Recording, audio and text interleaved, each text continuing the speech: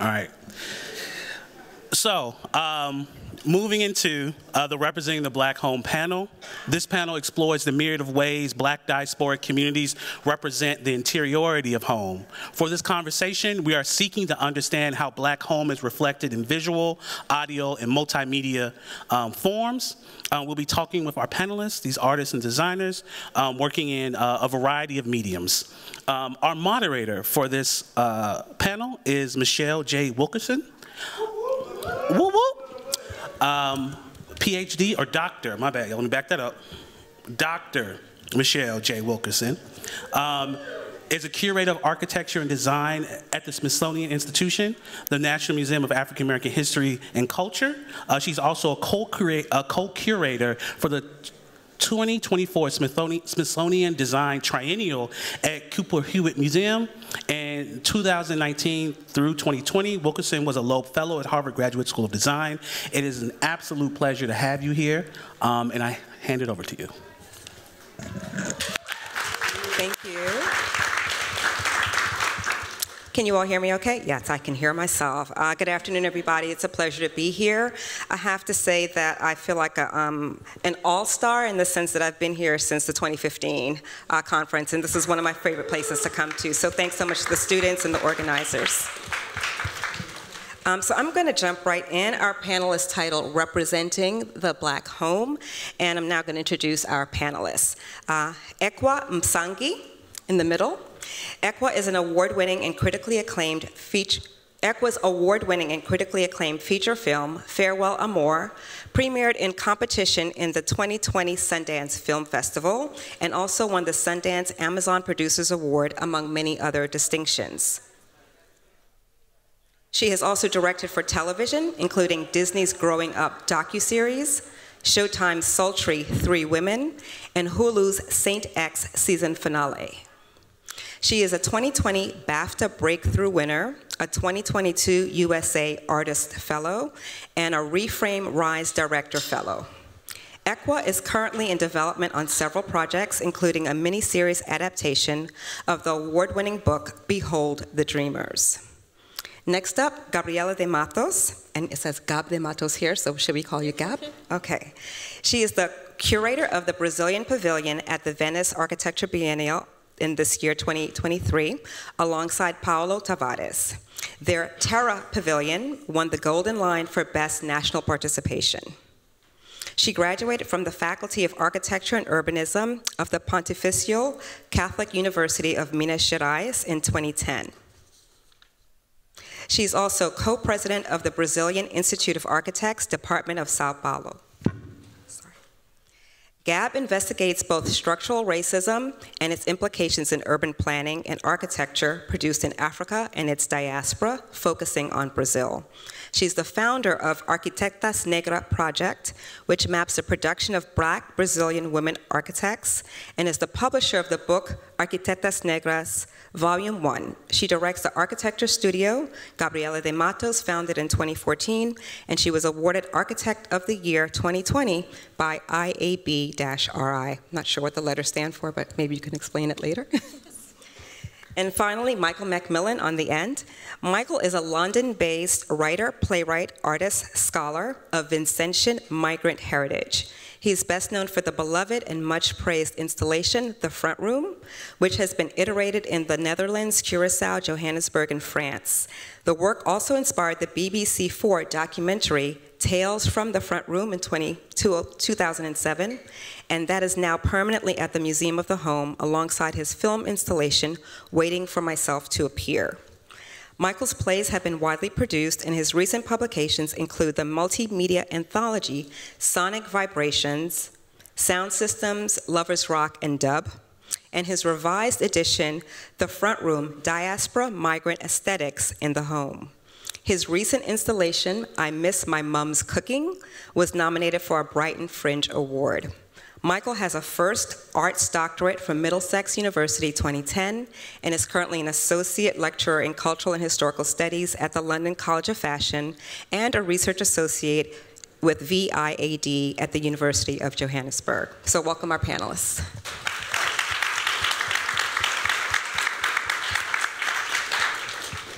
I, I really love the title of our um, our panel because to me the word uh, representing it also takes me back to like the old days of hip hop and representing, kind of shouting out and showing where you're from, and then even thinking about academia, that kind of um, the politics of representation, sometimes the burden of representation.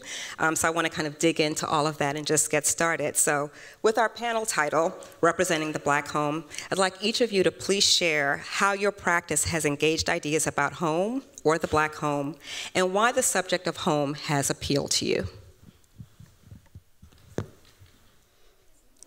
Shall I begin? Go for it. Since my picture up there already. Um, so I, I, need to say basically, first of all, I'm born in the UK, parents from St. Vincent. I identify as black British, and I have to big up my sister here. Dawn, put your hand up, Dawn, in the house. My house. Dawn and her sister, and her, her husband, sorry, Dev. Um, and I'm going to talk a moment about the fact that Dawn and Dev have lived in the US for 30, over 30 years, but their accent has not changed, which says something about diaspora. But this is the front room, an example of the front room that we grew up in, and this is a book, it's here, out now, available on Amazon. The front room, it emanates from the Victorian parlor. It's a product of migration. It, it isn't so what you would find in the Caribbean. And why is it a product of migration? Because, and it, through my practice, that the struggle and aspiration here is important. When that generation came over here post 1948, and this no, and I'm ambivalent about the term Windrush because it pres presumes that we arrived in the UK in 1948 when there's been a black presence since the Romans in the UK. 20,000 black people in London during the 18th century. But okay, so my parents' generation um, saw signs says no Irish, no dogs, no coloreds. They found it easier to find a job than to find somewhere to live. And in once they created the home, using possibly the partner hand, they created this wonderful room. I need to say that it's my dad may have used it to entertain, but it was my mum who dressed it and controlled how. I said the Victorian parlor, so it comes with all of that baggage of the coloniality, those bourgeois values, including aspiration and respectability. Here at the Museum of the Home, it's permanent, and that's politically important for me because me Barney, I'm not going anywhere. And I will drop into a bit of nation language because in the UK, Jamaican is the most powerful culture, and because they all think we're Jamaican, I won't deny it if you think I'm Jamaican. yes. so I'll drop into that because it's easy, it's of my body, because the home is of my body. I need to say that the original iteration at the Geffrye Museum was the West Indian front room. It was the most successful exhibition there because it went beyond the black experience to other migrant communities, including white working class communities. So the power is that something black created can have this resonance beyond that. And now I just call it the front room. Um, I'm interested in the material culture and how that relates to our bodies. And being here at Harvard, and i have been bragging to my friend, I mean, I'm here at Harvard, you know, how, how, in a sense, it connects with who we are in terms of effect, um, not simply in terms of feeling, but also our spirituality. And music is a key aspect of that. I'll leave it. I could talk, but you have to read the book. The other thing I want to mention is an essay here in by Stuart Hall, sorry, where he says, and I'm going to park. He says that the front room is a conservative element of black life that the generality of society never quite understands. So conservatism resides within the black home. Thank you. no, that's actually a really wonderful place to pick up. Um, I too was born and raised in multiple places. My parents were Fulbright scholars um, on the West Coast. When I was born in Oakland, um, we moved to Kenya. My family is originally from Tanzania. I've lived in Brooklyn or New York for the past almost 30 years now. Um, so I identify with a lot of different places. Um, I identify with being an immigrant and a foreigner and an outside observer to a number of different things and finding um, uh, the, the threads of connection, um, like front room parlors. um, and and the, the place that I'd love to pick up from you is what music meant to me growing up, and what a big part of my last film, Farewell Amor, um, focuses on is that part of the connection and the food and the things. Um, you know, the image there of the praying hands is something that was in every house that we went to um, growing up, which was part of respectability. Jesus is the head of this home. Everybody had that plaque. Um, the company that makes it apparently has gone out of business, so I had an artist make that for my film. But um, that was it was almost like a protect a protective sort of this is this is who we are, all right. This is this is this is where we are. This is who we are. Um, the, the clothing, the, you know, all of those things, but music was definitely um, a huge connector um, in terms of not only messaging, um, you know, at that time we didn't have Afrobeats because Afrobeats is actually quite new.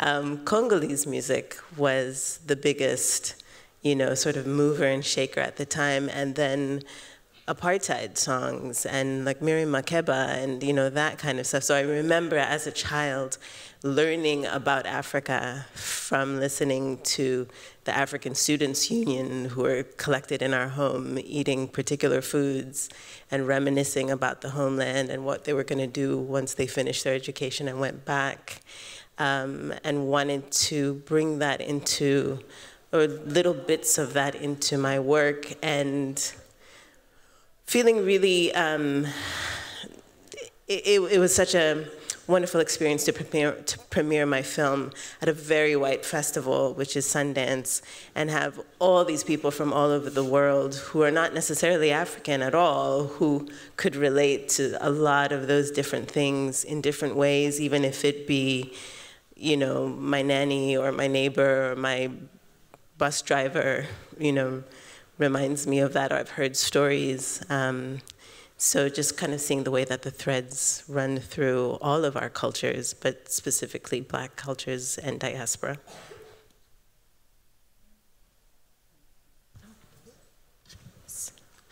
Well, um, I think uh, in the last years, uh, the house, this theme, can, uh, has become more clear in my work uh, I've been research about uh, Afro-Brazilian architecture for like almost eight years.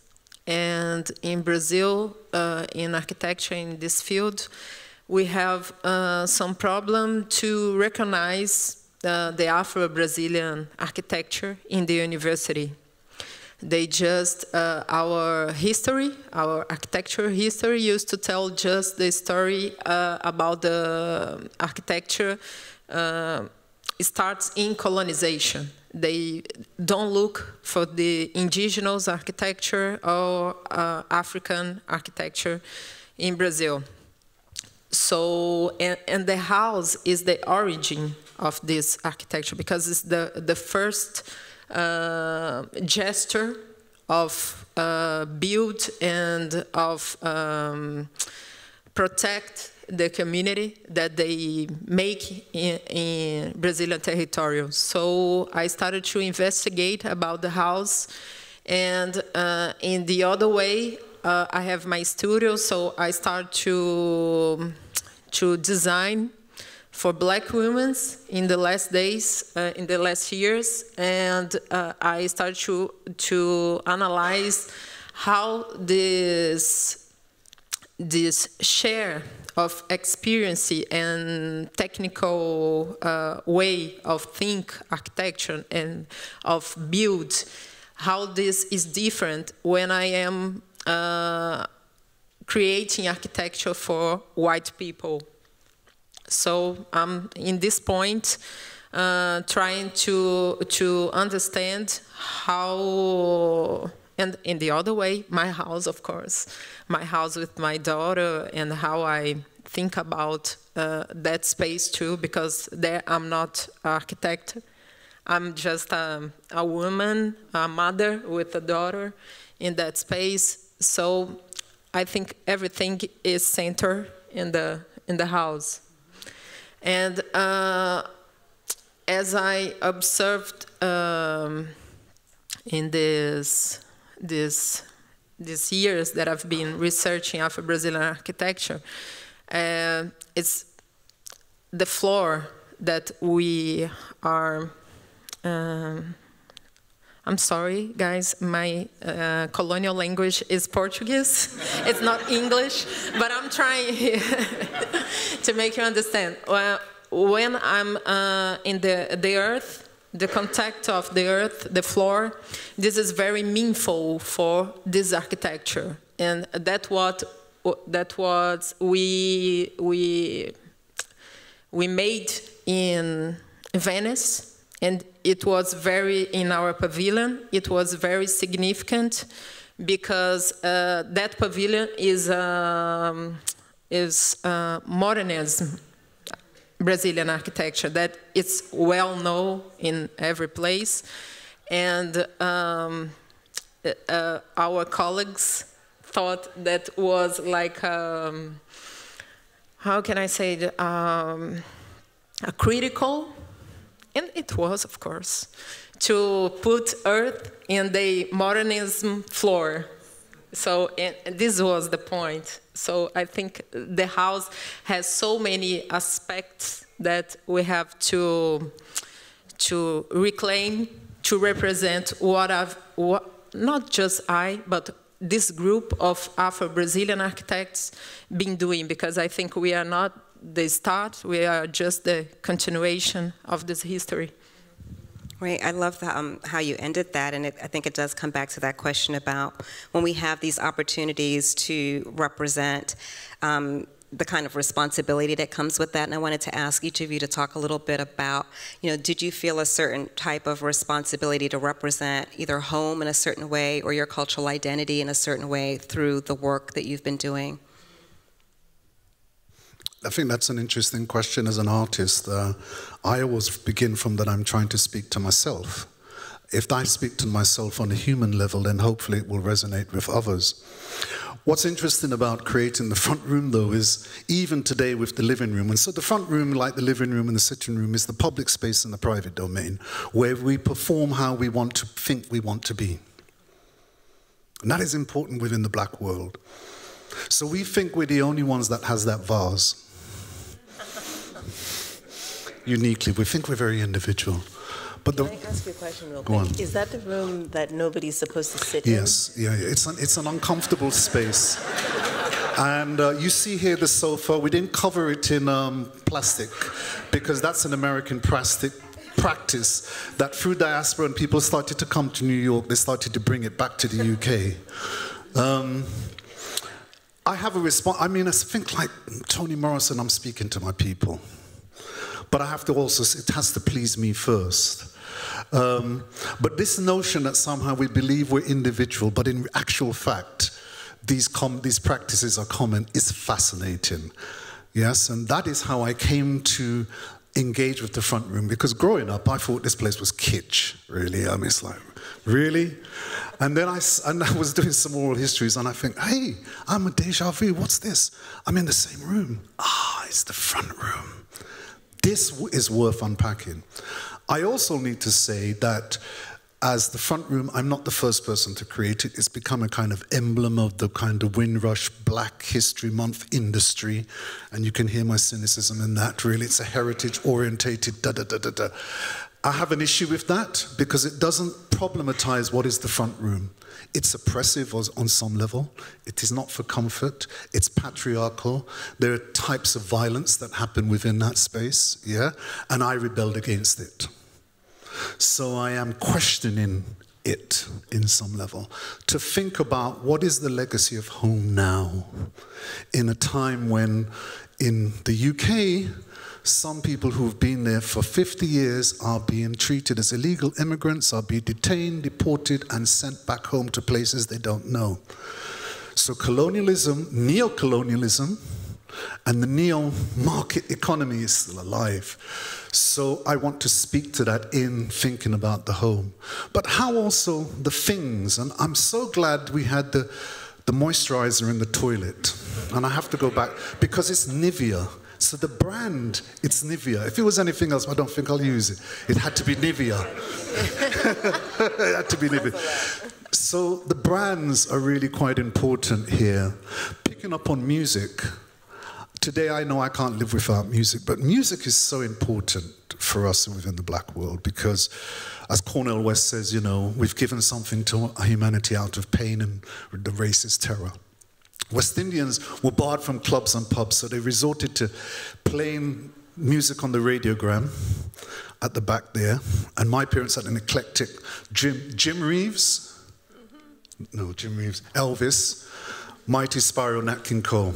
This is where the first house parties began, the first blues parties, and sound systems began through this instrument until the police arrived to shut it down. So Responsibility, yes, I'm responsibility to myself as an artist first and foremost. Yes, responsibility. Um, as a storyteller, I definitely feel that. Let me start by saying the whole reason I became a filmmaker was unlike a lot of my peers in film school who came to film because of their love of a particular movie or a particular genre, whatever it was, I came to film because of how much I hated the content that I had growing up. We had D level Rambo knockoffs for pretty much all of my life, British Top of the Pops at some point. Um, and maybe towards the end we had like Yo MTV raps, but it was, you know, a really old rerun of The Cosby Show here and there, but it was really, really cheap, terrible stuff that just did not reflect the interesting, funny, dramatic lives of the people that I saw surrounding me. And I come from a family of storytellers in terms of my father always made a point of talking about lineage and heritage and who came first and what their stories were. So stories were just part of it. And then also being an immigrant, you depend on stories as a way to know what's going on in the home country. So the relative who shows up, who's like, girl, let me tell you what they've been doing and who has a baby and who's been with who and, you know, just all of those things where that's, that's the news, that's what it was, but I never saw that anywhere. And so my reaction to that was to become a storyteller. I also come from East Africa, which has a very old history of filmmaking, a long history of filmmaking. There have been big Hollywood films that have shot in East Africa from the 30s, but you'll never know because there are no African people in them. it's animals and it's savannas and it's white people finding themselves and finding love and somewhere in Africa and out of Africa and nowhere in Africa. Those are all real titles of films that have been made in Africa with no African people in it. Um, and so coming to the States and representing East Africa, where it was, thank you, um, where the only representations that people had visual reminders of were starving Ethiopians, um, or at some point was Africans in West Africa, maybe we've, or South African townships, or very specific things, but East Africa people remembered animals more than they remembered people. And so I felt a responsibility to tell stories about people.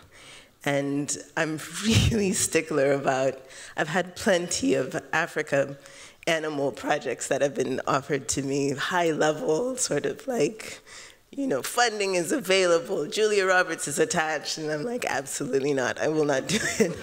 I can't because, because for me, what's um, most important to me is what I learned at home, which was stories about people and like the interesting things that our lives um, pertain and all of the details, which includes accents, which you mentioned regarding your sister, um, and being really stickler about what people sound like as well, because that's, we sound differently and there's reasons behind that. Well, um, I think migration is a pretty huge topic in my research because um, we have to understand that, I don't know if all of you know, but Brazil uh, was the country that received half of people that were enslaved and bring to Brazil. Half, half is just like six million of people. And uh, so we have this uh, cultural metrics that it's very African, very African. And um, the system, the society, the university, they all try to erase this, but they, we are talking about this. They love to tell how we are known by uh, carnival, samba, and, and, the food that we eat. But um, in architecture, they want to tell that uh, black people just construct was just the physical um, manual labor. Yes, labor. It doesn't have a, a knowledge uh, besides?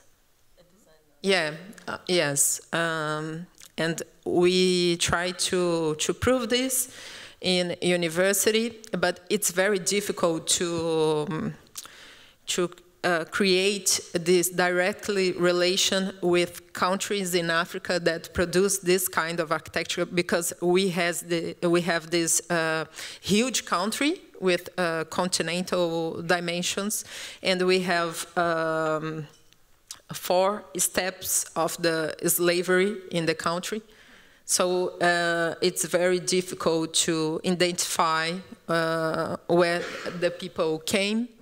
Uh, but we have some elements that people know and see in the city, like Sankofa, it's all over the place, like in the, the houses and all over the place. Everybody knows the, the symbol, but doesn't know the history behind. Um, the arcos, how can I say? Arcos, arcos, and uh, this kind of elements. But um, we are trying to besides this, uh, this uh, directly reference, we are trying to prove that it's uh, a way of thinking architecture that is different of this way of think, this white way, and these parameters that they they build and and they use to define what is architecture and what is an architecture, who can make and who can't make. We have some places uh, of memory for us, like uh, terreiros de candomblé, ilês, quilombos, and etc.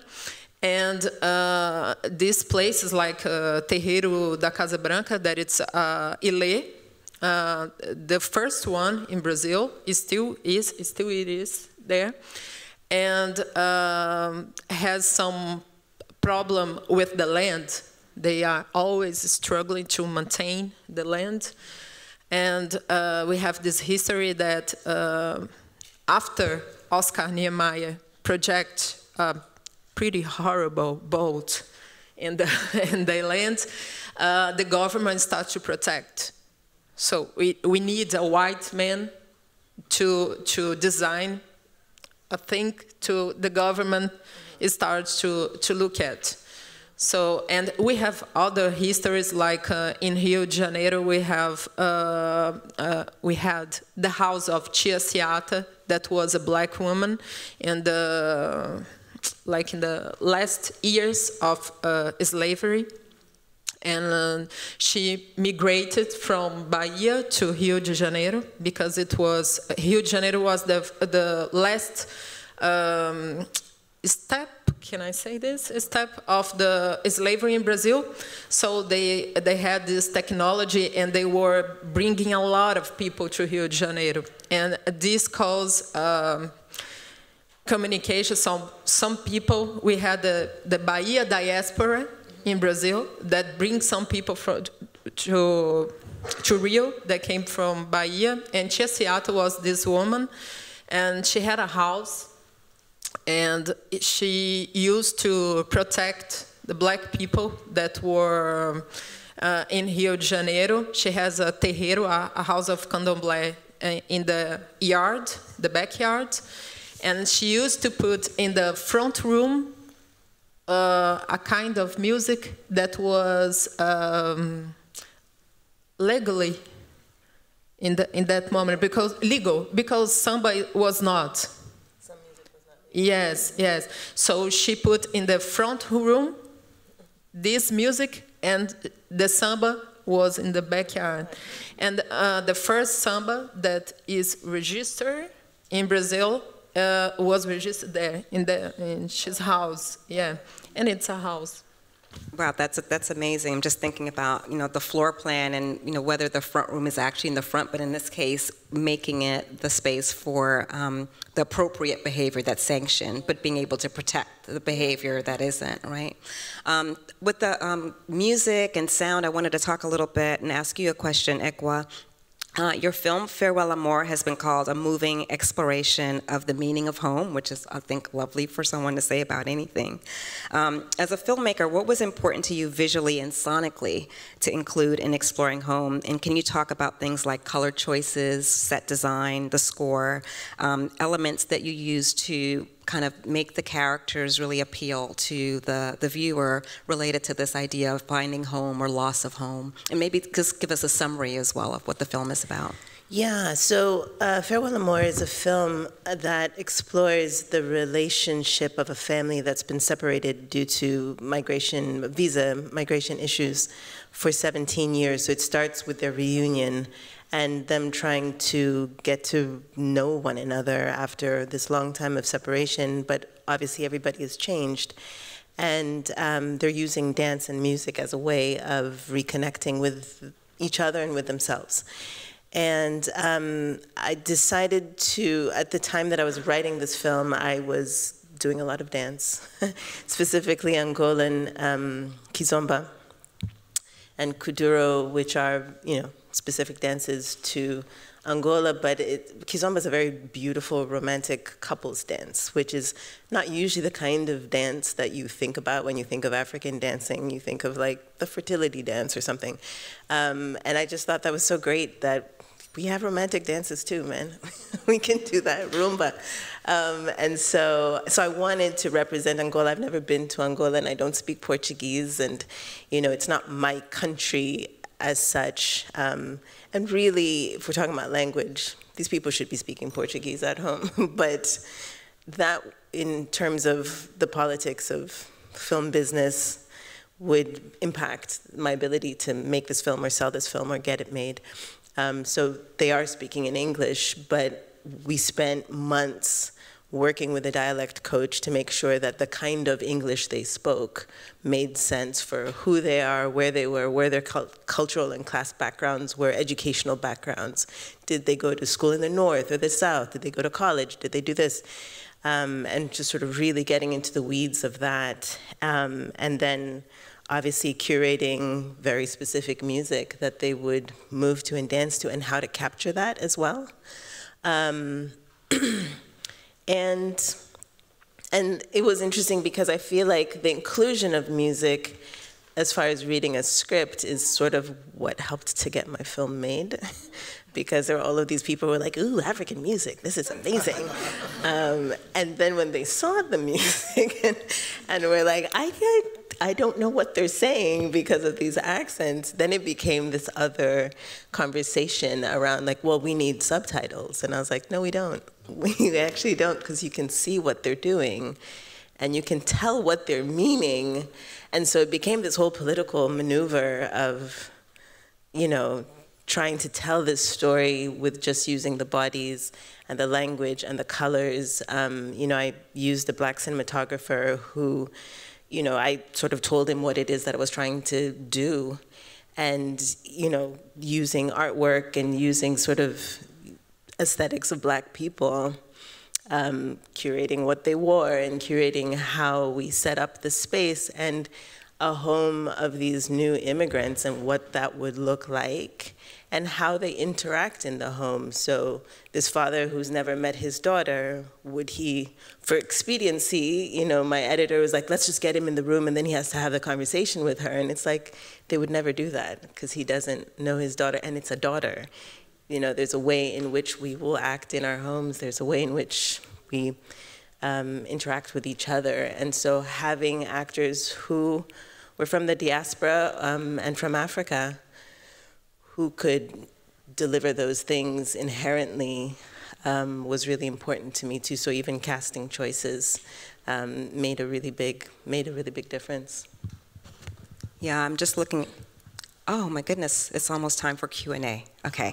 Um, um, well, let's let's do that because I think that's the point of being here. It should be conversational. Um, I, if you do have questions, please raise your hand. Um, the question I was just going to put out to all of you is to maybe talk a little bit about the reception to your work because I think it's really interesting for talking about representing, understanding the kind of reception that people have. So maybe you can start speaking about that while we take questions from the audience. Um, for me, in terms of the front room, it's been humbling for me, the response, because, um, and from different communities, particularly black communities, because it allows us a, a, a, space to talk about growing up and our interiority, our subjectivities, our desires, about love, about pleasure within the home, because we're often represented within the mainstream as loitering on the street, as if we have no homes, we have no family. And doing the front room allows us to begin to remember, remember, these things, this material culture, the crochet, for instance, made by women, the Last Supper on the wall, and you have to have the Last Supper even if you're not religious. Can you stay uh, on that a while and maybe list out some of the kinds of material culture and aesthetic objects that are in these rooms? Because we, you know, we've seen one image, but I would love to hear some more. So the wallpaper and the carpet never seem to match, but it doesn't matter. It's colorful anyway. you, you have the glass cabinet, which only function to display things you never use. But being older now, and having in, inherited things from my parents who are gone, I understand the value of displaying things you're not going to use. I get it. Um, um, the, the ornaments, the trinkets. Uh, um, the drinks cart. The the bar cart. The drinks cart. The bar, the bar, yes, the bar. And so the room is a series of contradictions. You have alcohol, and yes, you have religious identity in there at the same time. Yeah, of course. You have the sofa, and the sofa is going to stick to you because the plastic. You have the coffee table. You have artificial the doilies. Now, the crochet is very significant because crochet was introduced by the missionaries, but it's what black women, Caribbean, have had creolized crochet, made it colorful and sculptural. That is incredible and very rare you can't so i have my mom's collection and what is interesting is i have people who are families whose parents are going and say we're going to throw it in a skip. I said, No, I'll come and look at it and I may take things. So, this is important within the museum to give a new type of knowledge to, in terms of the collection and the archive that we bring in. We are contesting the collection now. That, you know, our, our material culture has value you know. Um, and as a people, we don't collect antiques. We're not into antique. We, everything must be new. And today is that plasma screen. You See, I have money now. I have money. That is the radiogram today. So it's so layered. It's so comp. The other thing that's significant. I come from a working class background. Yeah. So people say, no, we didn't. We had more books. We didn't have ornaments. So class is a dynamic here within this. Our parents had a piano at one point, and piano is a signification of class, isn't it? But I don't know why they put the, because none of us were interested in playing it, and they never gave us any lessons to learn how to play it. So I wondered why they had the piano in there. That's not the point. I could go on, but uh, yeah. Do we have any questions from the audience? Can I? Yes. Oh, yeah. Go ahead, and then we'll take the question. I was just going to slip a question in there. Do you think that the cabinet, the glass cabinet with the things that we never touch, um, is kind of a replacement of almost like veneration in terms of like our ancestral hand-me-downs that you know, are placed there because for remembrance and because they're important, but you're not necessarily supposed to interact and mess with it? Absolutely. It's our shrine, it's the altar, it's the space where you have your ancestors represented, photographs. So, photographs are fundamental because of our relationship, our bodies to photography. This evidence that we exist and we have agency over these visual is so important. But the, the cabinet is a shrine it is an altar. It is. It, it's very important there. Hello, hi. My name is Nicholas. Um, I had a question. It's regards to like self-displacement. I know you spoke, y'all spoke about it in some way or form. Is this idea of yourself being displaced within the front room, the back room, the side room, the middle room? Um, Sorry, being displaced or displayed? Displaced. So what does like self-displacement look like within your work, or how do you try to mitigate it? Interesting. Um, how does um, self-displacement appear in your work, and um, I guess thoughts about self-displacement as related to home? I don't know if I understand what you mean by self-displacement. Could you say a little bit more about I that? I understand what he's talking about he's talking about kind of double consciousness in a way that, I mean, I'm born in the UK, but I'm never called British. I have to leave the country to be called English or British. Okay? So where does that place me in the Atlantic? Where am I? I said my parents are from St. Vincent. I was St. Vin- I claim to be a Vincy, even though when I go there they call me English. I don't care. I'm hybrid. So we're continually aware of this double consciousness that somehow our blackness is through the lens of some whiteness. And we are life and death defined through our proximity to whiteness. That's always there, it's always present for me. And if that's what addresses your question, hopefully, maybe, I, I don't know. For me, um, when we were talking about this at lunch too, I am an East African who looks like a lot of different things, and I sound like a lot of different things. I was born in America, so I sound American depending on who I'm talking to. Um, I, I can do accents easily because, like Trevor Noah, it's easier to talk to people in the accent that they understand. Um, um, we're East Africans, so we don't have the kind of lived-in culture that a lot of West Africans do in terms of like what they wear and how they wear it and what it's used for. We wear oversized suits a lot. Um, and so I don't present as the thing. So there's always the like, oh wow, you're so blah blah blah for an African.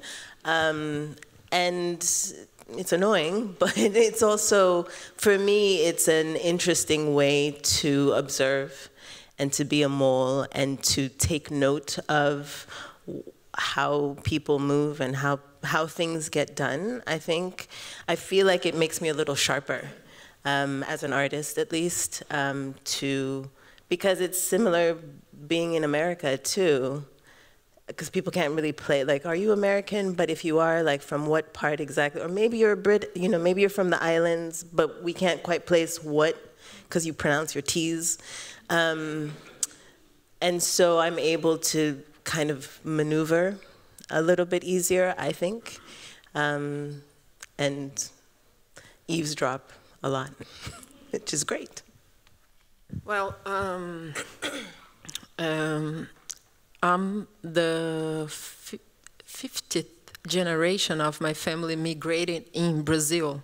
Like my my grandma and grandfather are from the north, and then uh, migrate to the center where my mom's uh, born, and then my mom come to the south, and where my father and me and my my sister we born and where I live now, I think that it's um, there is a, a, negative point in this because you, I don't know, I think, and me and my sister, we talk about a lot of this.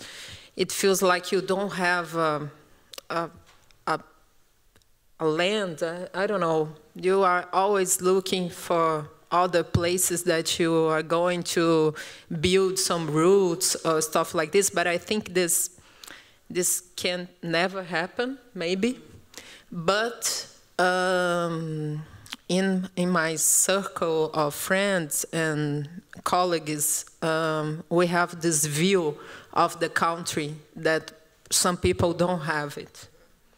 They they don't have this uh, um, uh, generosity. I don't know gener generosidade.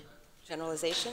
Oh, yes, to to to to look at other experiences. Mm -hmm. And um, I live in São Paulo. People in São Paulo used to think they they are the Brazil.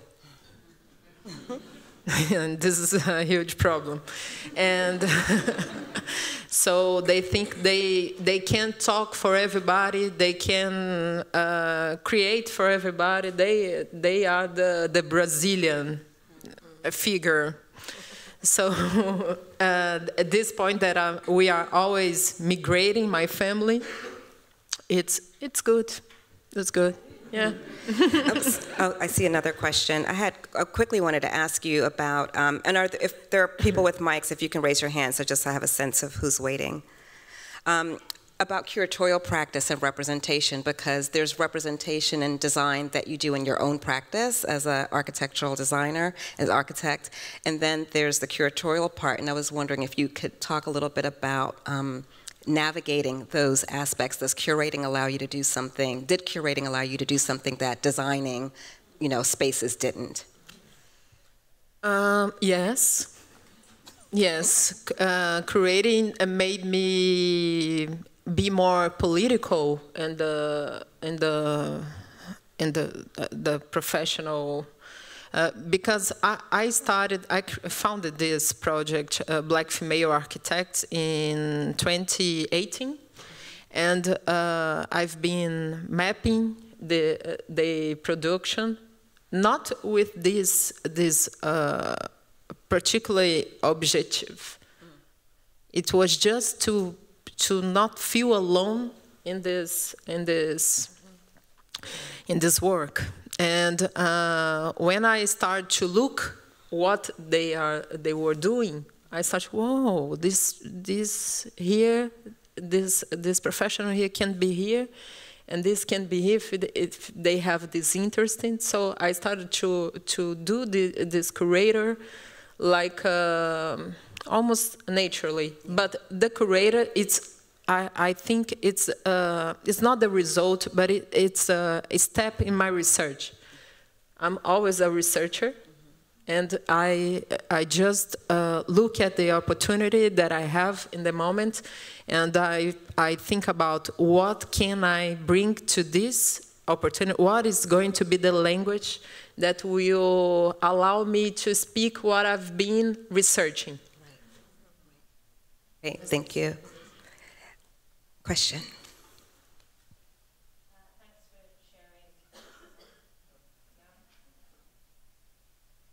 Okay, there we are.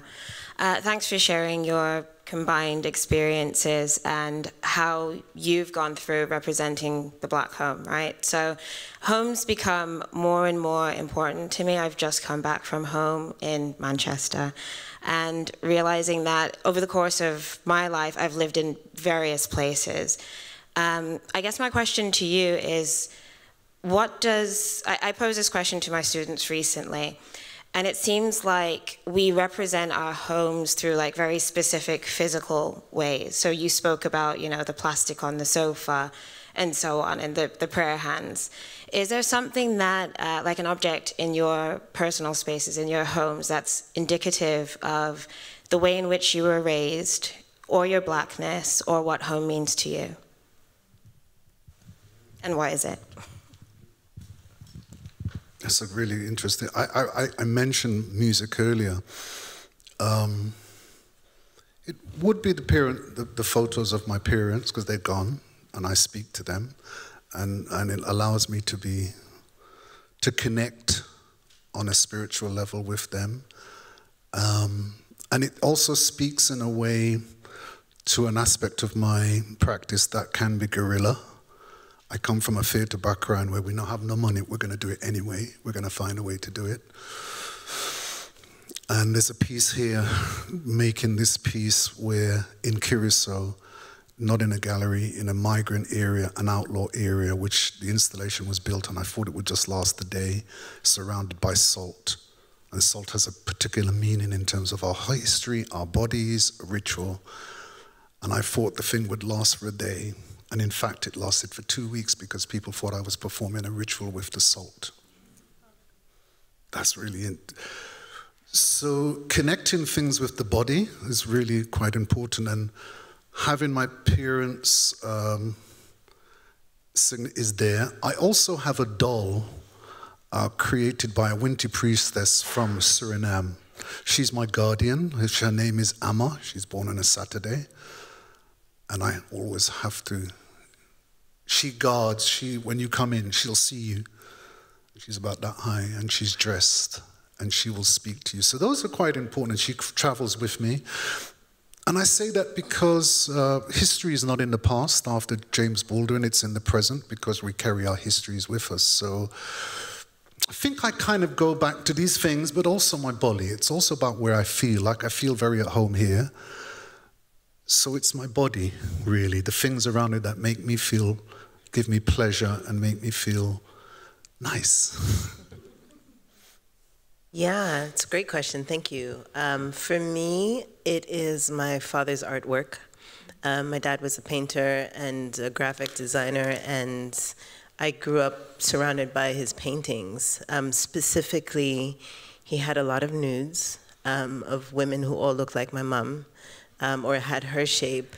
And so I grew up seeing pictures of voluptuous women so to a point where I didn't, it wasn't until like when most of us were going through puberty that I realized like not all women look the same. Because I just thought all women had big backsides. Um, but it was a great way to grow up, um, specifically countering to, you know, what's in magazines and all of the things, and especially as growing up as a young black girl. Um, so there's a particular painting that my dad has of hair braiders that me and all of my siblings have in our homes, which is sort of standard issue. Um, and we were not allowed to have tourist art in our homes. Um, my dad was very specific about this is not art. This is for tourists. You know, like the jumping Maasais and the giraffes and things. We don't do that. Um, so that is not in my home. Um, and I have a lot of spices in my cabinet because I'm East African and we do a lot of spices. we have a lot of Indian influence and we have Zanzibar and, you know, and that is specific to how I grew up as well. Well, in my house we have two elements. I, I think I can call like this. One is, is a plant called, uh, in Portuguese, uh, Espada de São Jorge. It's a plant that we, we put in front of the, the first door. Yeah. Yeah, the entrance. Yeah, and uh, it it's for purify the home and make uh, uh the bad spirits away of the the house. And in my house, we used to have, uh, and I'm very happy because I, I bought it one for my house. I found it one, bought it one. It's a, a carranca in Portuguese. We call carranca. It's like a sculpture in wood, like this this tall, but you have a lot of sizes. And in my house, we had all over the place. My dad used to have the keys, uh, like a, uh, this, I don't know how to call the yeah, key ring, and one in the front of the house in the entrance too. Yeah, yeah. It's from Bahia. Yeah, Salvador. The crochet. My family's from Guyana, and if I see crochet, I know I'm. yeah. um, were there other questions?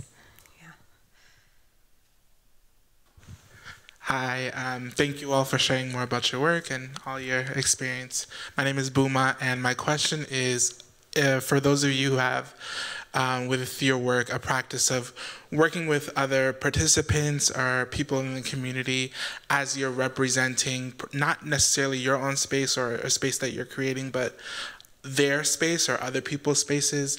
Uh, if you can describe your practice and how you um, work through, um, I'm thinking about like care and respect uh, and intimacy and maintaining that uh, as some people may not be comfortable with publicizing certain things or certain ideas or, or just getting comfortable with their space or their home or their their being being on such a wide uh, platform? Uh, that's a very good question. Um, I work a lot with oral histories, and from the outset, it's always about an ethics uh, applied to work because uh, someone's story is their life. And for me, it's always about consent, and it's developing a, um, a trust. And when I come in to someone's home, it's always about permission. I'm always going to share something of where I come from so they can develop a, a relationship of trust.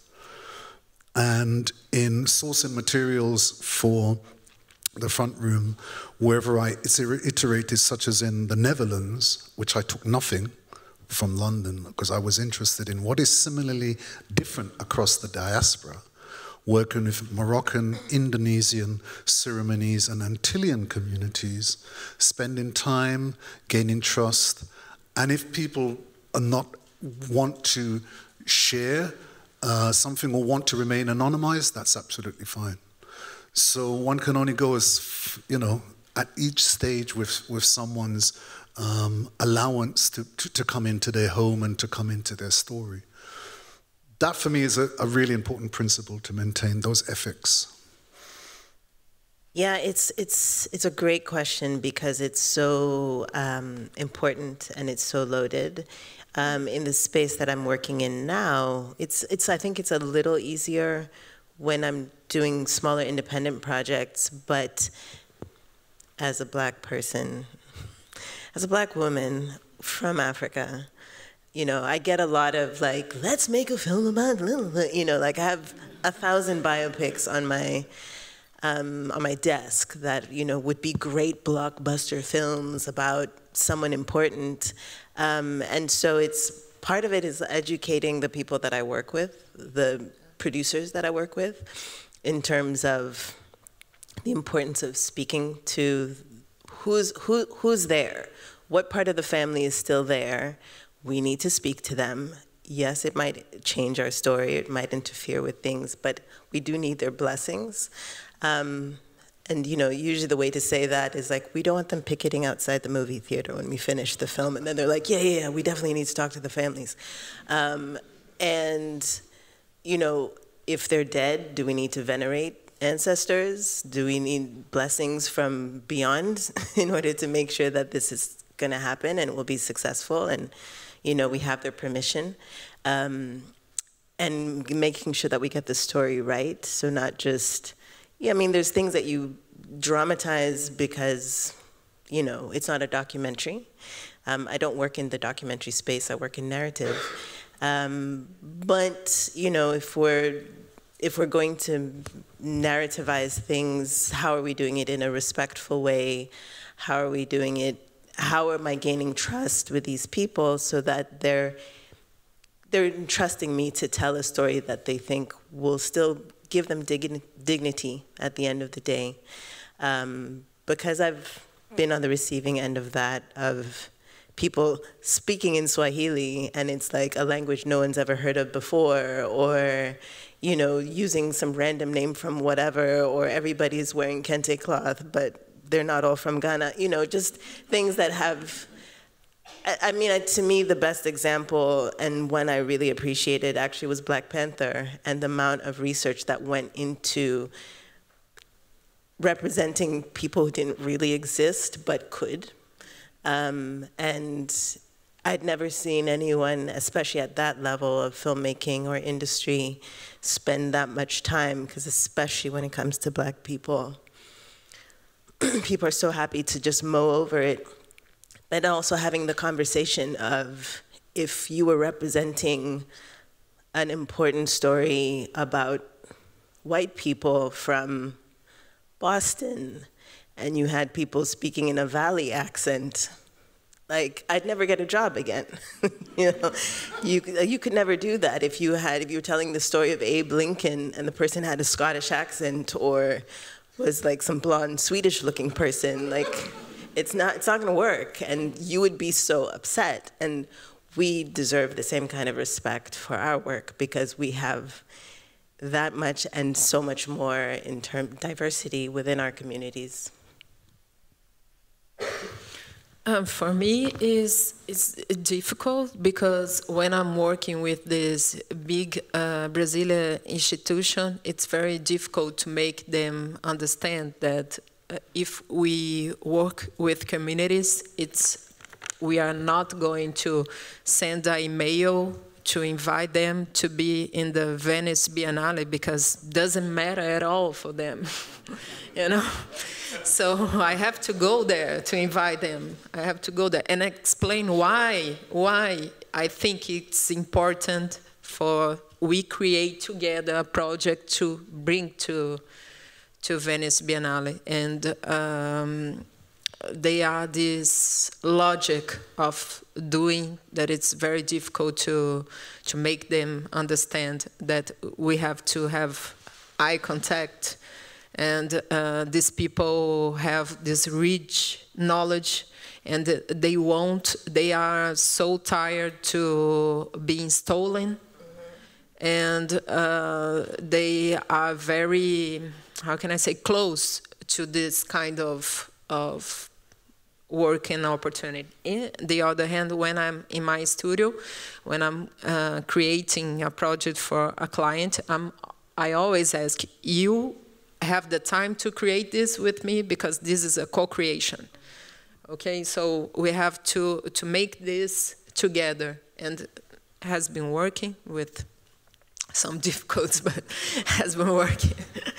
and uh, in, in, Venice, um, that we have this experience to create the whole um, project with the the Terreiro da Casa Branca in Salvador and uh, with indigenous community in, in, Amazonas and stuff like this. Me and Paulo, that was my partner, we divided, uh, we separated, and he goes to Amazonas and I to um, me to to Bahia because we only have four months to do this, so it was very crazy. And uh, but the the community when we were in Venice and we won the Golden Lion, they they made a, a carnival in Salvador. So they they thought that, they were part, uh, part of the work.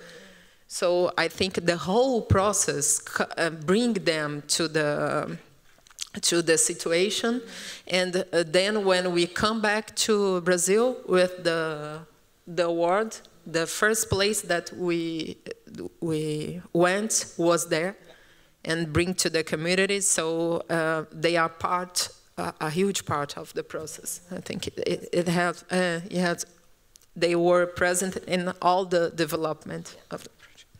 I love, you know, it's the idea of um, kind of bringing home with you, um, connecting with people, making home together almost, and bringing them with you. I think we're almost out of time. I wanted to just ask if there's, you know, something that is missing from home or that you would want to see more of, and we can leave it with, with that. What are we hoping for representations of home in the future?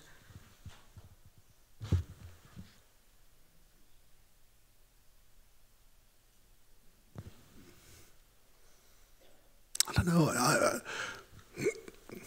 it's a recognition for me that we are creating home. We do create home, but we don't know that we are. We're constantly, someone talked earlier, uh, a fellow elder like myself, that we are, we're constantly doing this. And why? Because as humans, as black people, wherever there is oppression, we, there is resistance. And we always, whatever it's a hut or a small place, we'll always create some sense of beauty. We're continually doing that. That is something that to remind ourselves that we constantly do.